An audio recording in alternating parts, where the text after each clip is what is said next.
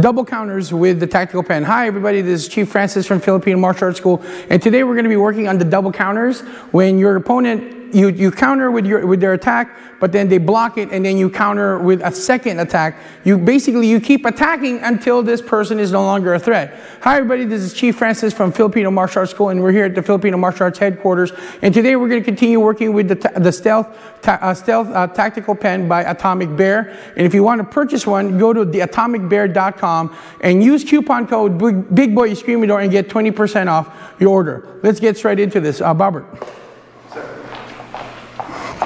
So right now, stand right here. Okay. So right now, when he, he attacks me, the, the, the standard counter that I'm doing now is counter block, hubad, with the jaws of the alligator uh, check here, stepping forward and, uh, and stabbing this way. Okay, so one more time. Stab.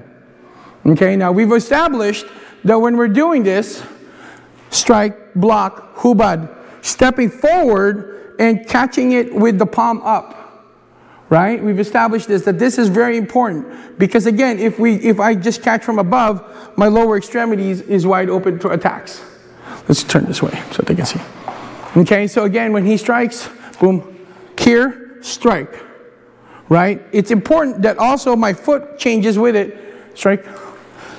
As I'm catching this here, my left foot forward goes forward, and I, I, I twist my hip into this thrust. Does that make sense?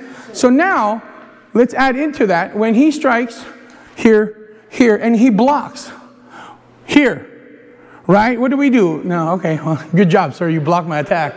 Let's not fight anymore, right? Obviously, we have to keep fighting. So he strikes, here, he blocks, right?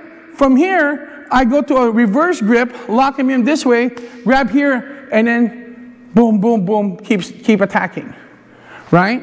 So, again, he is attacks. Here, he blocks. I go reverse grip, grab, and bam, bam, bam, right? Now, it's important that I still have to be very much aware of his attacking weapon, right? So, we start off as he strike, boom, here, block. I go to reverse grip, hook him in this way. Look what I'm doing with his uh, attacking arm. I'm pushing it down this way, then switching, and now they're both locked in. Yes, sir. right? Bam, bam, bam. So again, block, boom, hook, pull, bam, bam, bam, all the way through. Right? All right, let's try it.